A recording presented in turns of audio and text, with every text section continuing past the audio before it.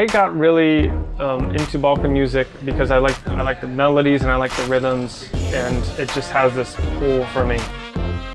This kind of music is very demanding, specifically if you're not from the culture. Uh, it's, it's, a whole different type of language. For Westerners, it can, it can be really tough. Yani onların çabaları ve sevgisi bu müziğe zaten başka bir bir şey katıyor. Sevgiyi katarak değişik bir tarz çıkarıyorlar ve çok güzel oluyor. Haters wanna hate every week a new dub play.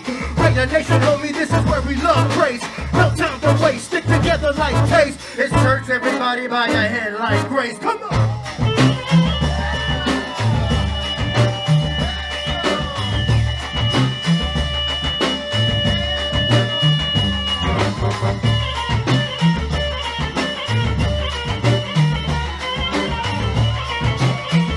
Man, well I'll say this about Balkan music. It's some of the best music to rap to.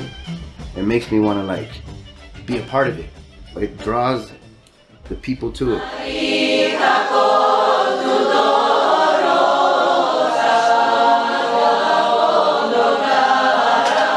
So the reason I, I loved it is, uh, you know, I've been a, a classical musician where you just play for people sitting in chairs, you know.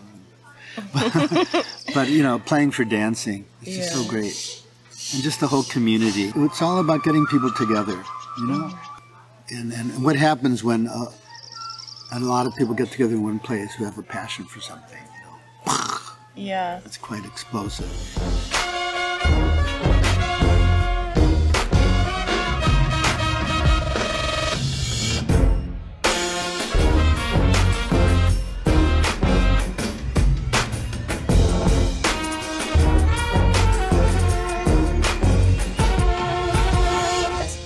The thing that I see is that people love so much here is how it's a community event.